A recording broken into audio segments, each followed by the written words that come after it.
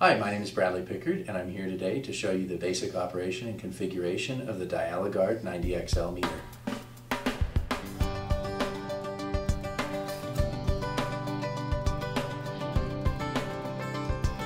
So, first I'm going to turn the display module on. Here we have the power button, the far left. Just press it once, quickly, and the meter should come on. Once the meter's on, I'm going to go ahead and connect up a module to the port. You can use any one of these four ports here. So I'm going to go ahead and use port 1. You're welcome to use any of these modules in any of these ports. Then I line it up here, and there's no way to mess this up. It the, the tail always comes away from the back of the meter, just like this.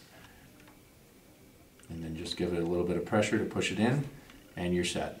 Once I have the module connected, the meter will begin to take readings in real time. Here on the display, you can see that I have conductivity and temperature being fed to the display, and these will update about once every second. Once your meter is on and taking readings, then uh, we can go ahead and take some measurements with the meter.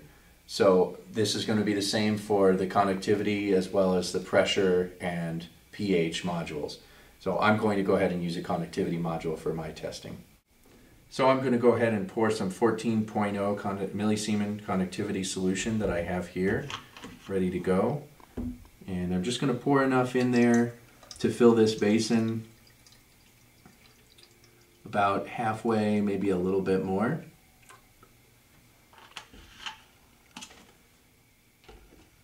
And then I have a syringe here. Okay, so I'm going to go ahead and put the module here into the fluid syringe on top. And just push it in just a little bit. Make sure it's tight and it's going to be airtight there. And then you can pull up on the syringe and fluid should flow through the meter and you'll begin to get a reading on the display. And now you can see on the meter we have readings that are close to our conductivity value. My value was 14 and I'm reading 14.043 Now that I've covered basic testing of a module, I'm going to go ahead and show you how to configure the display. To get to the configuration, press the menu button. Under the menu, there's several options. The first one is units of measure. And when I select that, I need to have a module attached.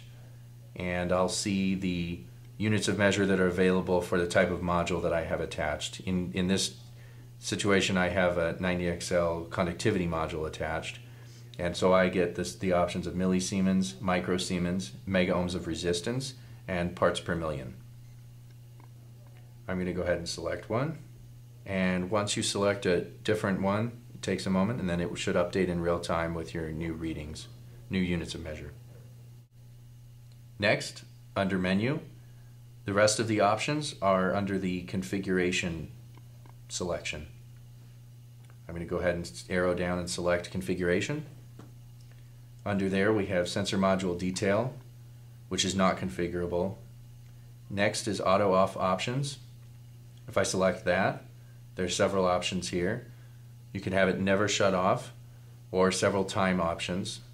And then once you've selected one, you can either click save, which will save it permanently into the memory, or if you press temp, then it will save it just for during this, this session with the 90XL. So once the meter has been powered off and rebooted, it will revert back to the setting it had previously. I'll go ahead and save 10 minutes.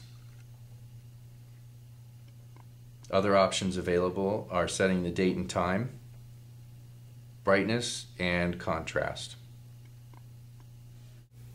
And this concludes the video for the basic operations of the 90XL. For more information, go to mesalabs.com.